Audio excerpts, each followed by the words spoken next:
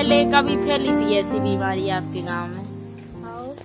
की हर साल फैलत कुंवर की महीना में। आपके परिवार में कितने लोगों को बुखार है? पंद्रह सोलह जना। आप किस लिए आए हो यहाँ पर? हम अपने भानेज के लिए दवाई के लिए आए हैं। क्या है उनको बुखार है? उनको खुजली हो रही है शीत भी उमक रहा है बीमारी काफ़ी तरह तरह की फैल रही है। ऐसी बीमारी फैली है कि बहुत से ज़्यादा बुखार आ रहा है आदमी को, कहीं के हाथ दर्द कर रहे हैं को को बुखार चढ़ रहा हो, जुकाम है को को दवा नहीं है। अब गुजरापुर से दस किलोमीटर दूर पड़ता है गाँव तो वहाँ से यहाँ सरकारी अस्पताल में आउट नहीं आउट और फ़सल मसल कट रही है, वजह से बहुत आदमी परेशान है। पानी नहीं बरसा से बुखार तो आई रहा बहुत सारे मोड़ी मोड़ा पड़े।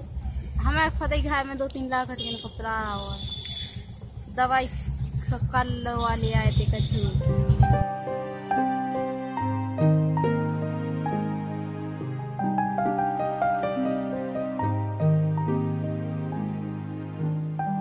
गाँव में डेढ़ सौ मरीज़ हैं, आपने शिकायत क्यों नहीं की समुदाय स्वास्थ्य केंद्र? शिकायत क्या है? यहाँ तो यही है कि अब आप उनने आए, उनने लिखी दवा सरकारी अस्पताल तो सरकारी है। तो आपके गाँव में कितने लोगों को फैली है ऐसी बीमारी जो दस्त बुखार है? मैडम हमारे क्षेत्र में किसी को ना है मेरे को ना दस्त की है ना कौन मगर बीमारी है।